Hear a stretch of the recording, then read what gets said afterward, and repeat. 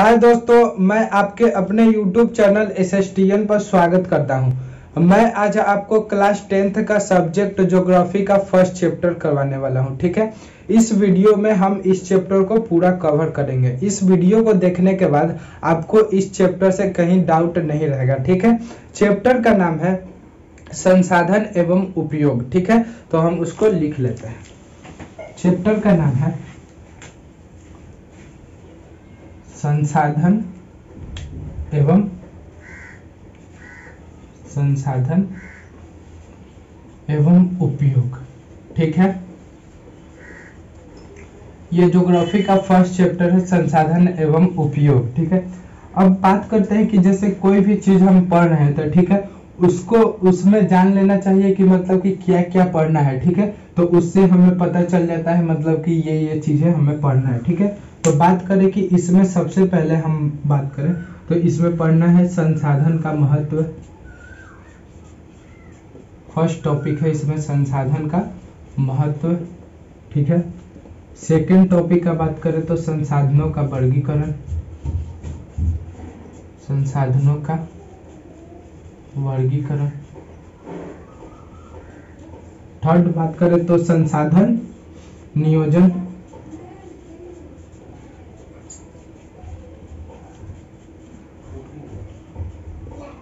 Fourth में बात करें तो भारत में संसाधन नियोजन, भारत में संसाधन नियोजन। ठीक है? और नेक्स्ट टॉपिक है संसाधन संरक्षण। संसाधन संरक्षण।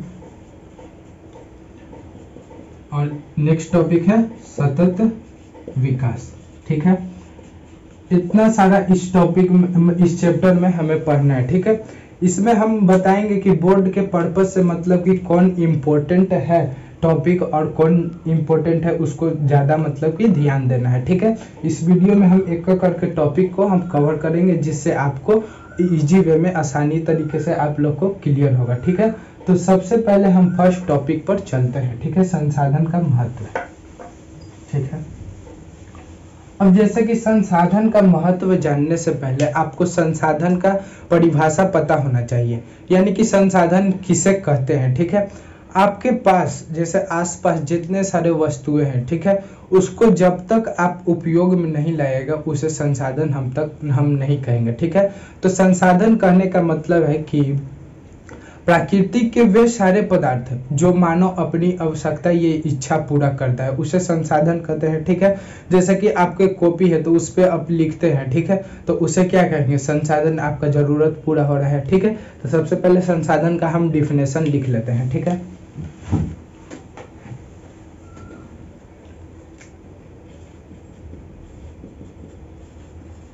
संसाधन।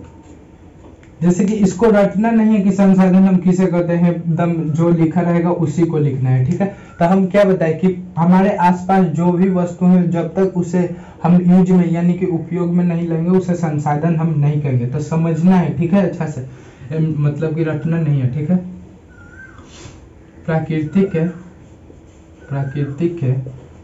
वे सारे पदार्थ, वे सारे पदार्थ जो मानव अपनी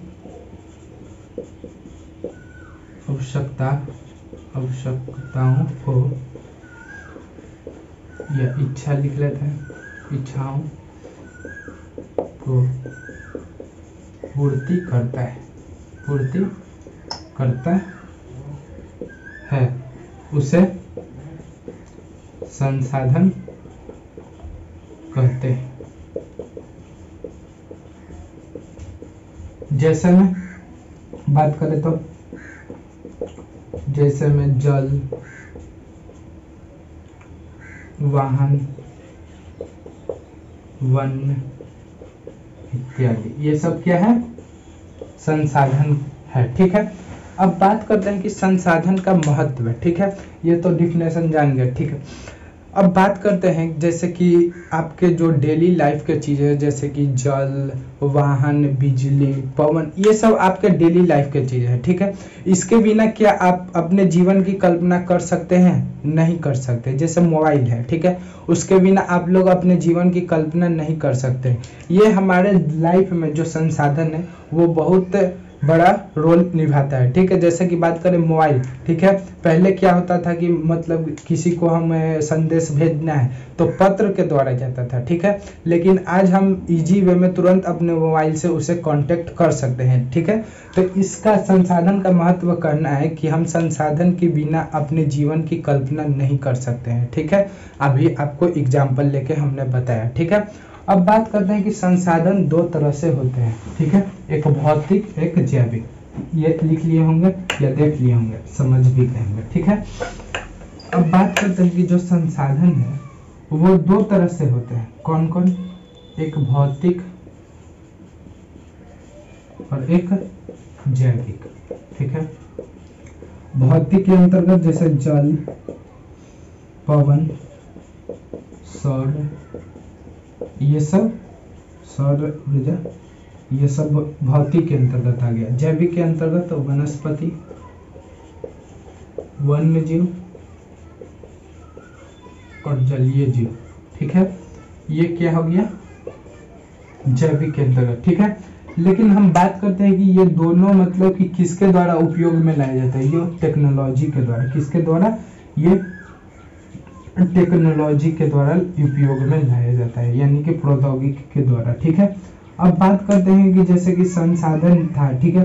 पहले के जमाना मतलब कि हमसे मतलब कि प्राचीन काल में लोग मतलब कि कैसे यूज़ करते थे और आज के ज़माने में कैसे विकसित हुआ, जब मानव का ज्ञानी मतलब कि मानव मस्तिष्क डेवलप्ड हुआ, ठीक है? तो उसको हम लोग देखते हैं।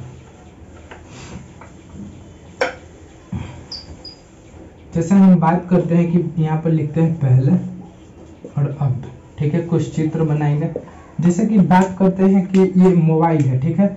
मोबाइल पहले के ज़माने में बहुत बड़ा होता था, ठीक है? बहुत बड़ा होता था, ये मोबाइल है, ठीक है? आज के ज़माने में स्मार्टफ़ोन निकल जाता है, ठीक है? इसके अंतर्गत सारे कामें होता है, ठीक है? अब बात करते हैं कि जो पहले के ज़माना था तो धीरे धीरे क्या टेक्नोलॉजी का विकसित हुआ और कौशल का विकसित हुआ, ठीक है? और मानव ज्ञान ज्ञान का विकसित हुआ, ठीक है? उस तरह से चीज़ें बदलते गए जो आपके सामने है और हम, हमारे और आपके सामने है, ठीक है? जैसे कंप्यूटर का एग्ज़ाम्पल ले लेते हैं। कंप्यूटर भी पहले बहुत बड़ा आता था, उसके जगह रिप्लेस किया लैपटॉप, ठीक है? अब बात करते हैं जैसे पहिया पहिया के अंतर्गत बहुत बड़े बड़े पहिए आते थे, अब छोटे छोटे आते हैं। और जैसे मानव का विकास हुआ, वैसे वैसे विकास होते गया, ठीक है? तो ये देखिए पहले और अब का अंतर, ठीक है? इस तरह से अब आप लोग के मन में भी बात आ रहा होगा, ठीक है? कि मानव क्या एक तरह का संसाधन है, ठीक है? मानव देखे तो स्वयं में एक संसाधन है, ठीक है? तो आप लोग बताइएगा कि कैसे, ठीक है? हम बताते हैं। जैसे कि मानव, आप लोग जैसे कि एक हम बताते हैं कि जैसे संसाधन संपन्न जो जगह है, ठीक है, क्या वो विकसित होगा जो संसाधन संपन्न देश है? नहीं, ठीक है। जैसे अभी हम एग्ज़ाम्पल लेते हैं, पूरा देश में तो मतलब संसाधन संपन्न नहीं होगा, ठीक है।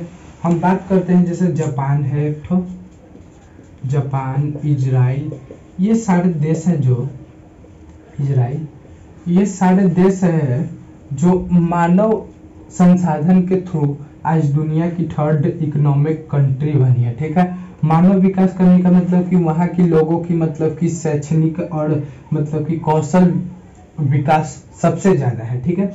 जापान है और इजराइल ये मतलब कि ये देश है जो मानव संसाधन के कारण ही आज वर्ल्ड के तीसरे अर्थव्यवस्था के क्षेत्र में और अनेक क्षेत्र में आते हैं, ठीक है? और बात करते हैं, जैसे कि ये तो पता चल गया कि संसाधन जहाँ पर संपन्न रहेगा, वही देश केवल नहीं है। जहाँ पर मानव संसाधन भी विकसित है, वो भी देश मतलब कि विकसित के अंतर्गत आएगा, ठीक है? और बात करते हैं अब कि जैसे कि सेवा क्या एक प्रकार का संसाधन है, ठीक है? जैसे सेवा के अंतर्गत क्या आएगा सेवा के अंतर्गत, जैसे कि शिक्षक, डॉक्टर, और जो जो सेवा के अंतर्गत जो आता है, ठीक है? जैसे इसको एग्ज़ाम्पल लेते हैं, शिक्षक, ठीक है? अभी जैसे हम आप लोग को पढ़ा रहे हैं, ठीक है? तो उसके बदले हमें कुछ, चलिए मानिए कि पैसा मिला, ठीक है? तो उससे क्या हम अपनी ज़रूरत को पूरा करेंगे, ठीक है? तो संसाधन का डिफिनेशन क्या था? कि संसाधन उसे कहते हैं जो मानव अपनी आवश्यकता का पूरा कर सके, ठीक है? तो इससे हम अपनी ज़रूरत को पूरा करेंगे, ठीक है? तो ये संसाधन के अंतर्गत आएगा सेवा। ये हम सेवा दे रहे हैं, जैसे डॉक्टर डॉक्टर है, वो किसी चीज़ को पेशेंट को चेक करेगा। तो उसके बदले मतलब कि उसे पैसा मिलेगा, ठीक है? तो पैसा मिलेगा तो वो भी अपने ज़रूरत को पूरा कर सकता है, ठीक? पूरा करता है, ठीक है? तो उसे भी क्या कहेंगे? सेवा। तो सेवा भी एक प्रकार का क्या है? संसाधन है, ठीक है? उसी तरह से जैसे आप लोग जाते हैं ट्रांसपोर्ट के थ्रू जैसे किसी का माल आया, ठीक है? तो माल आया जो उसमें जो चालक रहता है, ठीक है? तो उसको भी मतलब कि वो भी सेवा दे रहा है अपना, गाड़ी में चालक के रूप में ड्राइवर के रूप में, ठीक है? तो उसको भी कुछ मिलता है पैसा, ठीक है? तो वो भी अपने ज़रूरत को पूरा करता है। इस तरह से सेवा भी क्या है? एक प्रकार का संसाधन है, ठीक है? अब बात करते हैं जैसे कि अब इसमें जिमर मैन में कहे थे, ठीक है जिमर मैन ने कि संसाधन होते नहीं, बनाए जाते हैं। किसने कहे थे? जिमर मैन ने। संसाधन होते नहीं, बनाए जाते जाते हैं। ये किसने कहा था? Zimmerman. किसने जिमर मैन, ठीक है? ये आपके ऑब्जेक्टिव क्वेश्चन में आता है, ठीक है? इसको देख लीजिएगा और याद भी कर लीजिएगा अच्छा से।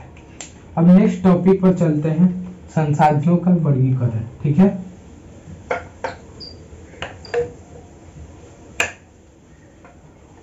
नेक्स्ट टॉपिक है, संसाधनों का वर्गीकरण।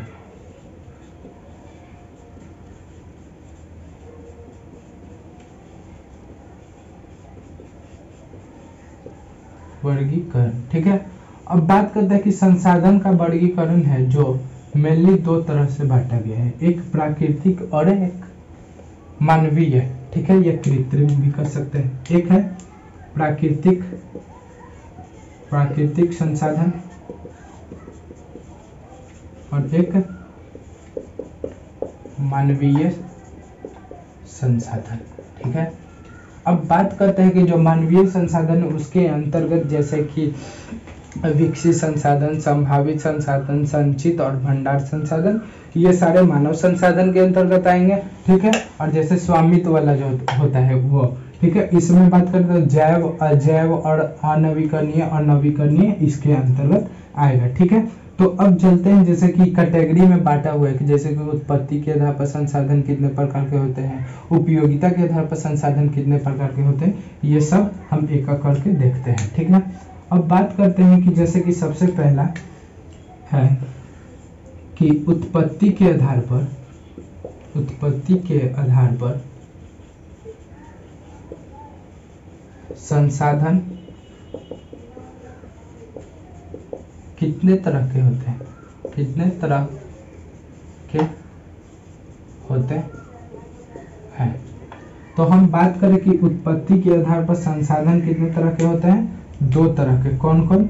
एक बात करें तो जैव संसाधन और एक अजैव संसाधन। ठीक है? अब जैसे कि इसको हमको लिखना है कि जैव किसे कहते हैं, हमको समझ में नहीं आ रहा अजैव किसे कहते हैं, ठीक है? तो इसको समझना है, रटना नहीं है, ठीक है? सबसे पहले बात करें कि जैव संसाधन उसे कहते हैं, वे सारे पदार्थ जो सजीव से या जीव मंडल से प्राप्त होते हैं, ठीक है? उसे जैव संसाधन कहते हैं, जिसमें जीवन पर्याप्त हो, ठीक है?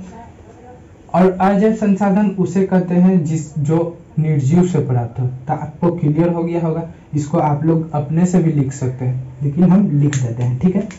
वे सारे पदार्थ, वे सारे पदार्थ जो सजीव या जीव मंडल से प्राप्त होते हैं। जीव मंडल से प्राप्त होते हैं। से जैव संसाधन कहते हैं। जैव संसाधन कहते हैं, ठीक है? और एग्ज़ाम्पल में बात करें तो मानव एक आ जाएगा, ठीक है? वनस्पति आ जाएगा और अन्य प्राणी समुदाय आ जाएगा। तो इसको एग्ज़ाम्पल में लिख लेते हैं। जैसे मानव, वनस्पति और प्राणी। समुदाय। ठीक है? और अजब में कहते हैं, वे सारे पदार्थ वे सारे पदार्थ वे सारे पदार्थ जो निर्जीव से प्राप्त होते हैं। निर्जीव से प्राप्त होते हैं। होते हैं, उसे अजैव संसाधन कहते हैं। अजैव संसाधन। कहते हैं। ठीक है, जैसे में धातु, मिट्टी, धातु, मृदा या मिट्टी, ये सारे अजैव संसाधन होते हैं, ठीक है? तो उत्पत्ति के आधार पर हमने बता दिया।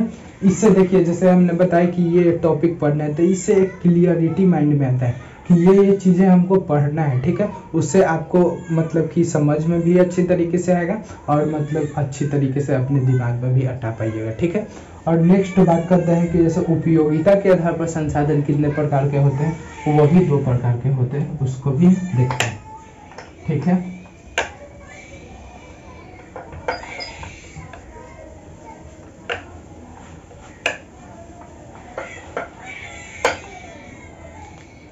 नेक्स्ट है कि उपयोगिता के आधार पर, उपयोगिता के आधार पर, के आधार पर संसाधन कितने प्रकार के होते हैं? प्रकार के होते हैं, ठीक है? ये दो प्रकार के होते हैं। कौन कौन एक नवीकरणीय नवीकरणीय और एक अनवीकरणीय ठीक है? अब सबसे पहले बात करें कि ये बोर्ड पॉइंट ऑफ़ व्यू से देखें तो ये सबसे ज़्यादा इम्पोर्टेंट है। ठीक है? आपके जैसे कि ऑब्जेक्टिव वाले क्वेश्चन में पूछ देता है कि सौर ऊर्जा कैसी संसा, संसाधन है चार गो एग्ज़ाम्पल दिए रहेगा उसको आपको बताना रहेगा। तो ठीक है इसको अच्छी तरीके से हम समझते हैं उसके बाद आपको एग्ज़ाम में इससे मतलब कि क्वेश्चन आसानी से कर पाइएगा ठीक है? अब बात करते हैं कि नवीकरणीय संसाधन हम किसे कहते हैं ठीक है?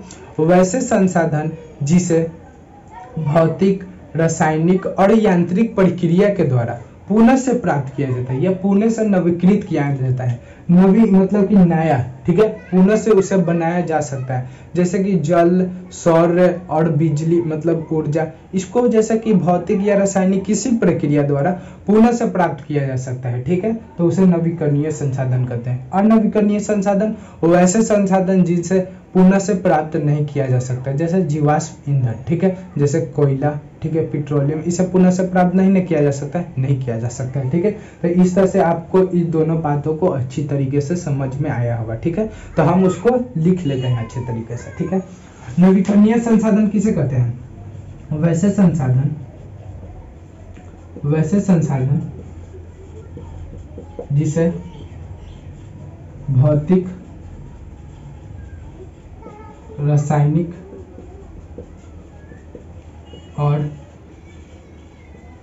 यांत्रिक प्रक्रिया द्वारा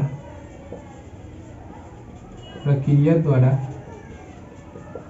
पुनः प्राप्त किया जा सके जा सके। ठीक है, उसे नवीकरणीय संसाधन कहते हैं। उसे नवीकरणीय संसाधन कहते हैं, ठीक है? अब जैसे इसको एग्ज़ाम्पल लिखना है, ठीक है? इसमें एग्ज़ाम्पल हमें लिखना है, जैसे में, ये सबसे ज़्यादा इम्पोर्टेंट है एग्ज़ाम्पल ठीक है? ऑब्जेक्टिव में इससे क्वेश्चन आता है, जैसे सौर ऊर्जा, पवन ऊर्जा, जल, ठीक है? ये क्या है? नवीकरणीय संसाधन। इसे पुनः से प्राप्त किया जा सकता है, ठीक है? और नवीकरणीय संसाधन किसे कहते हैं? वैसे संसाधन। वैसे संसाधन, जिसे पुनः प्राप्त नहीं किया जा सके, नहीं किया जा सके। उसे अनवीकरणीय संसाधन कहते हैं। अनवीकरणीय संसाधन कहते हैं, ठीक है? इसमें एग्ज़ाम्पल लिख लेते हैं, जैसे में जीवाश्म ईंधन, ठीक है? इसमें सब आ जाएगा, जीवाश्म ईंधन, ठीक है? आपको देखिए मतलब रटना नहीं है, बातों को अच्छी तरीके से समझना है, ठीक है? जैसे इसमें की पॉइंट क्या है? पुनः से प्राप्त नहीं किया जा सकता है, ठीक है? इसमें की पॉइंट क्या है? कि पुनः से प्राप्त किया जा सकता है। किसके किसके द्वारा? भौतिक रासायनिक और यांत्रिक प्रक्रिया द्वारा। तो अपने भाषाओं में इसको लिख सकते हैं, ठीक है? तो इस तरह से मतलब रटना नहीं, समझना है अच्छा से, ठीक है? और नेक्स्ट बात करते हैं, ये तो हो गया कि उपयोगिता के आधार पर। अब स्वामित्व के आधार पर संसाधन कितने प्रकार के होते हैं, उसको हम देखते हैं, ठीक है?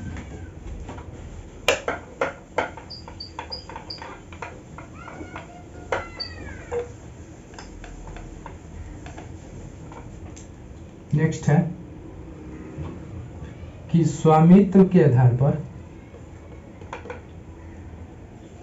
स्वामित्व के आधार पर संसाधन कितने प्रकार का होता है? चार प्रकार के। ठीक है? कौन कौन होते हैं? उसको भी देख लेते हैं अभी। पहला, व्यक्तिगत संसाधन। व्यक्तिगत। दूसरा, सामुदायिक संसाधन। तीसरा, राष्ट्रीय संसाधन। चौथा, अंतरराष्ट्रीय संसाधन।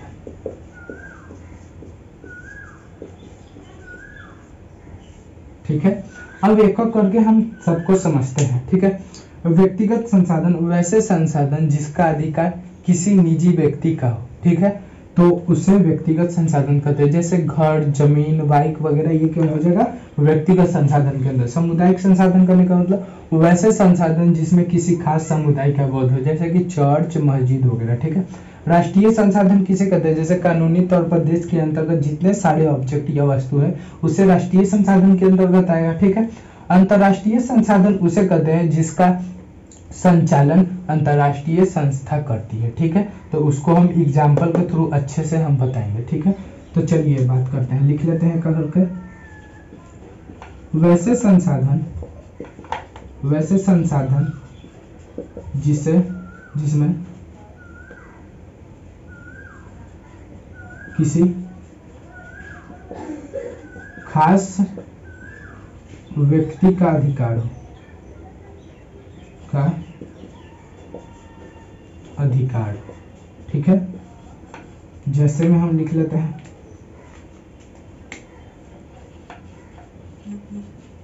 जैसे में ज़मीन, घर, निजी जो हो ठीक है? इटी से ठीक है? सामुदायिक, वैसे संसाधन। वैसे संसाधन। साधन। जिसमें किसी खास समुदाय का बोध हो, समुदाय का अधिकार हो या बोध हो, अधिकार हो, ठीक है? जैसे चर्च मस्जिद ये सब लिख लेते हैं, तालाब, जैसे चर्च, मस्जिद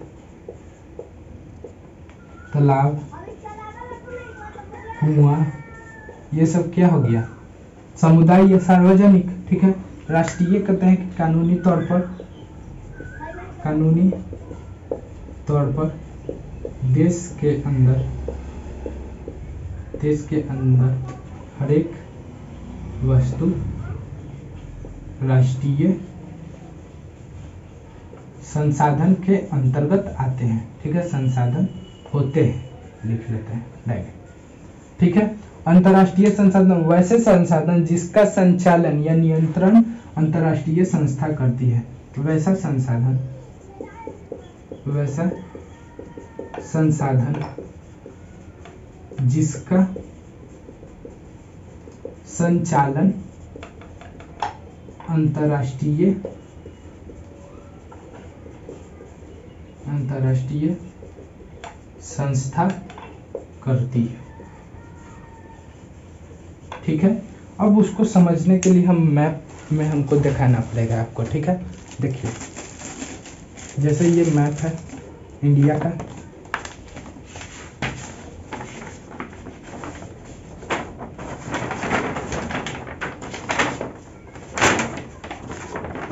ये मैप है इंडिया का, ठीक है?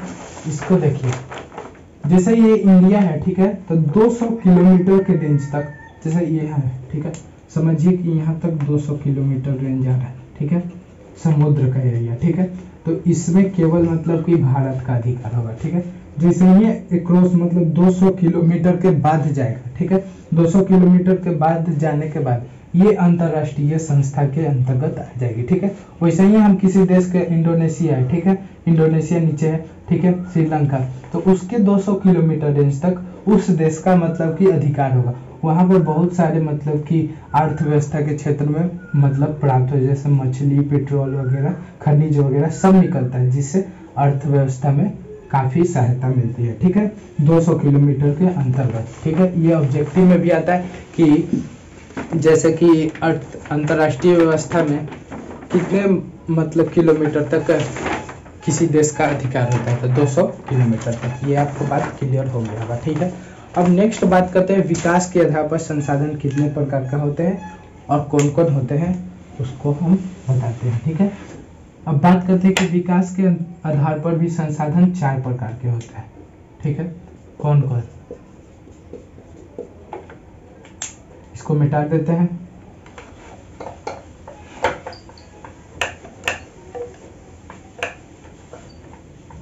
विकास पर बात करें तो जैसे कि संभावी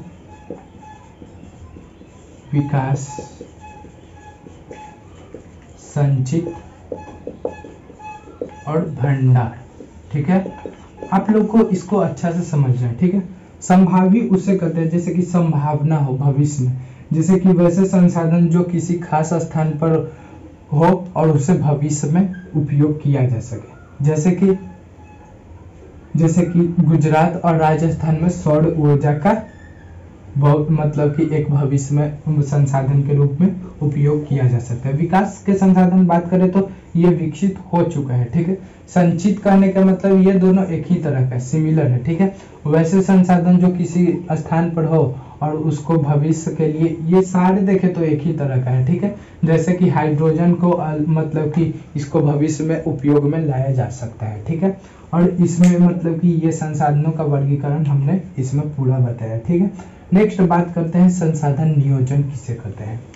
नेक्स्ट टॉपिक है, संसाधन नियोजन, ठीक है? नेक्स्ट टॉपिक यह है? संसाधन नियोजन, ठीक है? नियोजन करने का मतलब योजना या प्लानिंग ठीक है? अब बात करते हैं कि संसाधन नियोजन हम किसे कहते हैं, ठीक है? संसाधन को विवेकपूर्ण तरीके से उपयोग करना ही संसाधन नियोजन है, ठीक है? अब बात करते हैं, जैसे कि हमारा भारत जो देश है, वो विभिन्नताओं से भरा हुआ देश है, ठीक है? कहीं पर संसाधन पूरे पर्याप्त मात्रा में, कहीं पर संसाधन है ही नहीं, ठीक है? तो उसको ही कंट्रोल करने के लिए, ठीक है, उसको प्लानिंग बनाया जाता है, ठीक है। जैसे बात करते हैं एग्ज़ाम्पल के थ्रू जैसे पेट्रोल तो मतलब पूरे देश में नहीं निकलता है उसको सबसे ज़्यादा दूसरे देशों से मंगाया जाता है, ठीक है। तो उसी तरह से जैसे पेट्रोल का यूज़ तो सभी जगह है, ठीक है। तो उसको प्लानिंग के तहत कैसे कैसे कहाँ पर डिस्ट्रीब्यूट करना है, उसी को संसाधन नियोजन कहते हैं, ठीक है? जैसे कि कोई संसाधन किसी राज्य में सबसे ज़्यादा है, ठीक है? लेकिन डिमांड तो वहाँ पर भी होगा, ठीक है? तो उसी तरह से प्लानिंग करना संसाधन नियोजन है, उसको हम मैप के थ्रू हम बताएँगे, ठीक है? लिख लेते हैं। संसाधन को विवेक पूर्ण तरीके से उपयोग करना उपयोग करना ही संसाधन नियोजन है, ठीक है? नियोजन है, ठीक है? इस मैप को आप लोग देखिएगा, ठीक है? जैसे इस मैप में हम बात करते हैं कि जो छत्तीसगढ़, उड़ीसा और झारखंड ये संसाधन से संपन्न राज्य। ये देखिए यहाँ पर झारखंड है, यहाँ पर उड़ीसा है, ठीक है, और यहाँ पर छत्तीसगढ़ है, ठीक है। ये तीनों राज्य है जो संसाधन से संपन्न राज्य है, ठीक है। जैसे कि खनिज, धातु वगैरह, ठीक है, यहाँ पर प्राप्त होता है, ठीक। वहीं लद्दाख में देखें तो संसाधन का पर्याप्त मात्रा नहीं है, ठीक है। तो ये पूरे देश को मतलब कि नियोजन तरीके से चलाना ही संसाधन नियोजन है, ठीक है? और जैसे आप लोग कमेंट में बताइएगा कि जैसे जहाँ आप बिहार हैं तो बिहार में मतलब कि कौन सा? बता दें कि चूना पत्थर यहाँ पर सबसे ज़्यादा पर्याप्त मात्रा में मिलता है, ठीक है? अब जैसे कि भारत में संसाधन नियोजन किस प्रकार के से होता है, ठीक है? वो नेक्स्ट टॉपिक है, उसको हम बताते हैं। भारत में संसाधन नियोजन। नियोजन, ठीक है? आप लोग देखें अभी जैसे कि कि विभिन्न प्रदेशों में या राज्यों में, ठीक है? संसाधन की पहचान करना। सबसे पहले क्या करेंगे? संसाधन की पहचान करेंगे। उसके बाद दूसरा नंबर पर हम क्या करेंगे? जो भारत में होता है, ठीक है प्लानिंग या नियोजन। फिर दूसरा नंबर पर क्या करना होता है कि उसको देखेंगे क्वालिटी कितना है, ठीक है? ठीक है? और क्वांटिटी कितना है? क्वालिटी करने का मतलब उसके गुण क्या है और कितनी मात्रा में है ठीक है? तब उसके अनुसार।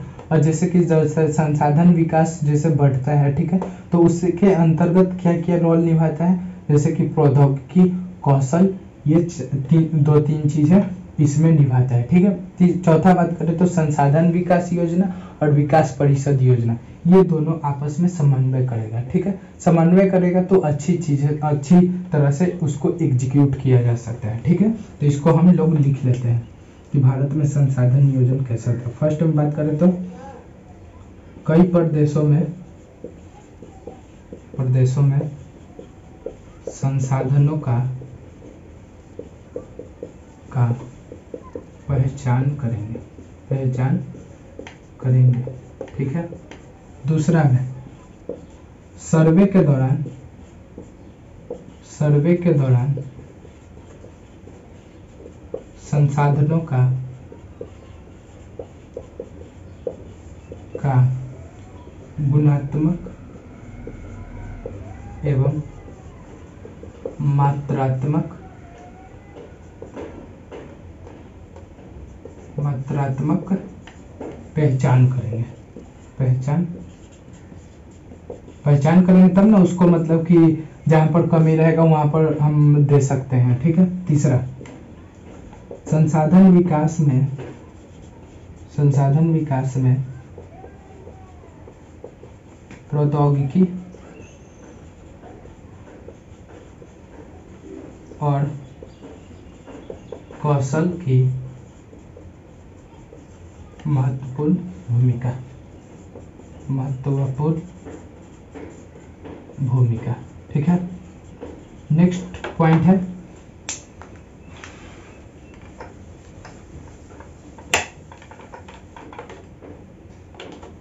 नेक्स्ट फोर्थ पॉइंट विकास योजना। विकास योजना एवं संसाधन विकास योजना।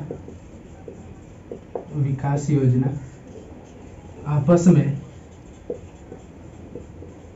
समन्वय स्थापित करें। करें, ठीक है? ये बातें कहाँ तक रिलेवेंट है, जैसे हम समझाते हैं आपको, ठीक है? जैसे कि कोई योजना है, ठीक है? केंद्र का है और राज्य का, ठीक है? तो केंद्र और राज्य दोनों मिलकर अच्छी तरीके से उसको एग्जीक्यूट करें, ठीक है? तो उसको जल्दी तरीके से होगा। अब नेक्स्ट बात करते हैं, संसाधन संरक्षण क्या है, ठीक है? संसाधन संरक्षण। ये आप लोग अच्छे तरीके से समझ गए होंगे हमने समझाने में। कहीं कसर नहीं छोड़ा है।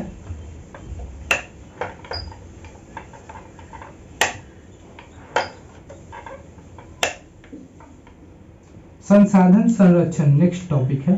संसाधन संरक्षण। संरक्षण करने का मतलब है ये बचाव, ठीक है? संसाधनों का बचाव, ठीक है? सबसे पहले हम बात करते हैं, जैसे कि संसाधन संरक्षण नहीं करने से क्या क्या समस्या उत्पन्न होती है, ठीक है? हम बात करें कि संसाधन संरक्षण नहीं करने से, ठीक है? अनेक सारी समस्याएँ उत्पन्न होती है। जैसे कि हम बात करें तो क्लाइमेट सबसे ज़्यादा क्लाइमेट परिवर्तन, ठीक है? और क्लाइमेट परिवर्तन करने का मतलब है जैसे कि टाइम के अनुसार मौसम, जैसे कि आप लोग बरसात समझते होंगे कि टाइम से है, ठीक है? लेकिन टाइम से नहीं आता है, ठंडा टाइम से नहीं आता है। तो ये सब क्या है?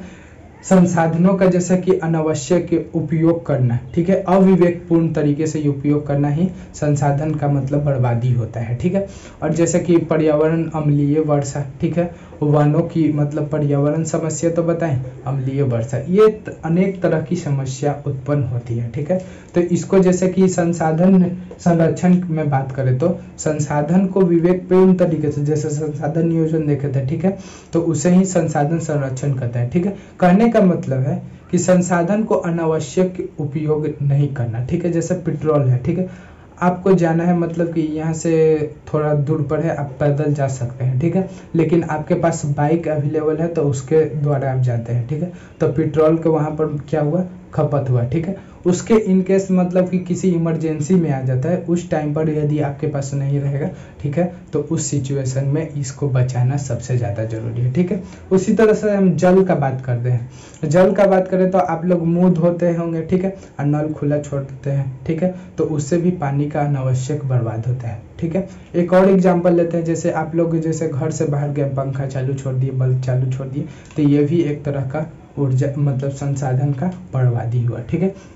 तो संसाधन को आवश्यक के अनुसार ही उपयोग करना, ठीक है? क्या है? संसाधन संरक्षण है। इसको अपने भाषा में लिखना है, ठीक है? रटना न किताब के भाषा में, समझ के अपने भाषा में लिखना है, ठीक है? तो संसाधन संरक्षण आप लोगों को क्लियर हो गया होगा, ठीक है? अब जैसे कि अंतर्राष्ट्रीय लेवल पर, स्तर पर कई संसाधन संरक्षण के लिए उठाए गए कदम है, ठीक है? जैसे हम इसमें, ये इम्पोर्टेंट है, उसको हम लिख लेते हैं, ठीक है? जैसे कि भारत में बात करें तो पहले लिख लेते हैं कि क्या क्या भारत में आंदोलन किया किया गया था, ठीक है? जैसे नर्मदा बचाओ आंदोलन, ठीक है? नर्मदा बचाओ आंदोलन।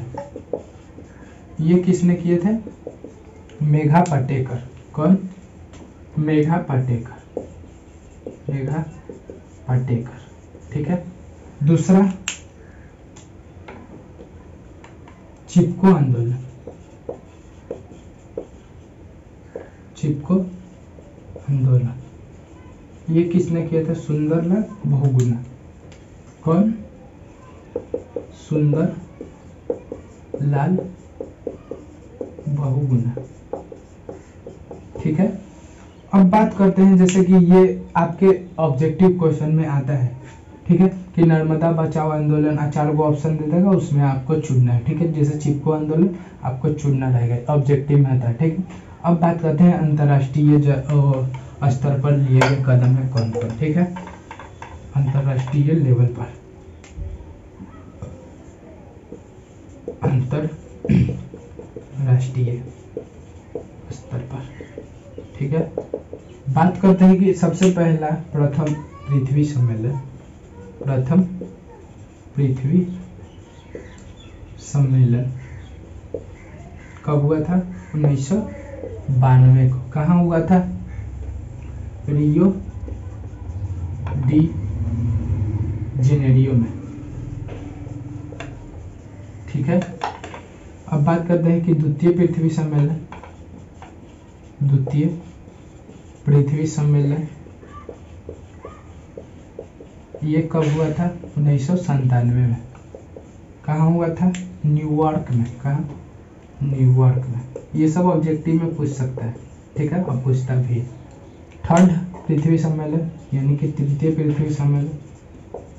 तृतीय पृथ्वी सम्मेलन कब हुआ था? 2002 में। ठीक है? ये कहाँ हुआ था? जोहान्सबर्ग में। कहा? जोहान्सबर्ग में। ठीक है? अब बात करते हैं कि जैसे कि इससे जैसे पृथ्वी सम्मेलन है, ठीक है?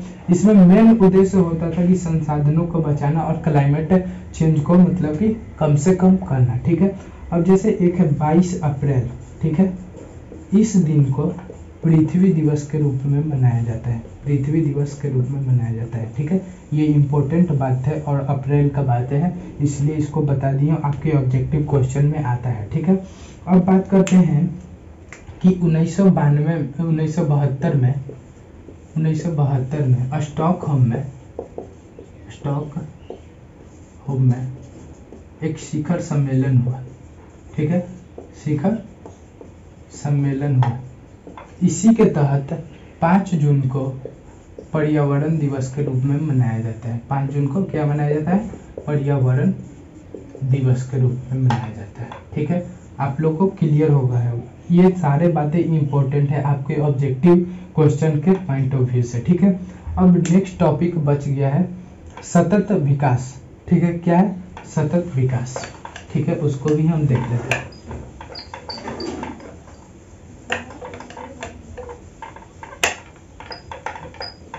नेक्स्ट टॉपिक क्या है? सतत विकास। जैसे हम बात करते हैं कि सतत विकास किसे कहते हैं, ठीक है? जैसे बात करें कि जो पर्यावरण को बिना क्षति पहुँचाए, भविष्य के मद्देनजर वर्तमान के विकास कायम रहे, उसे सतत विकास कहते हैं, ठीक है? अब बात करते हैं जैसे कि ये सतत विकास का मेन उद्देश्य है संसाधनों की, जैसे कि क्लाइमेट चेंज वगैरह में कमी लाना, ठीक है? और वर्तमान की जो विकास है, उसको भी कायम रखना, ठीक है? तो उसको हम लोग लिख लेते हैं। ये इम्पोर्टेंट है, आपको जैसे कि अति लघु उत्तरीय में आ सकता है, ठीक है? पर्यावरण को पर्यावरण को बिना क्षति पहुँचाए, बिना क्षति पहुँचाए, भविष्य की, भविष्य के मद्देनजर मद्देनजर वर्तमान का विकास। कायम रहे। उसे सतत विकास कहते हैं। सतत विकास कहते हैं। ठीक है? यदि हम बात करें कि जैसे कि इसको संसाधन को यदि हम नहीं बचाएँगे तो आने वाला भविष्य के लिए संसाधन नहीं बचेगा, ठीक है? तो वो अपने जीवन यापन को अच्छी तरीके से डेवलप्ड नहीं कर सकता है, ठीक है? हम बात करें तो संसाधन दो लोगों के पास केंद्रीकरण, यानी कि उसके पास कंट्रोल होता है, ठीक है? पहला, संपन्न, दूसरा, विपन्न। संपन्न लोग जो बहुत धन संपत्ति से संपन्न है, ठीक है? वो अपने लोभ लालच के रूप के लिए, ठीक है? पर जैसे कि वनों को कटवाना, ठीक है? और मतलब कि उसका विनाश करना, ठीक है? एक तरह से विनाश ही करना, ठीक? तो वो संपन्न लोग के सबसे सबसे ज़्यादा पास होता है कंट्रोल ठीक है? विपन्न लोग उसे कहते हैं, जैसे कि उसके पास उतना मतलब कि वो भी तो संपन्न ही के कंट्रोल में आता है, ठीक है? तो इस तरह से देखें तो मतलब कि संसाधन के दो तरह के मतलब कि अति कंट्रोल करता है, ठीक है? अपने लालच के लोभ के चलते पर्यावरण को दूषित करते हैं, ठीक है? उनकी सबसे महत्वपूर्ण भूमिका होती है पर्यावरण को दूषित करने में, ठीक है?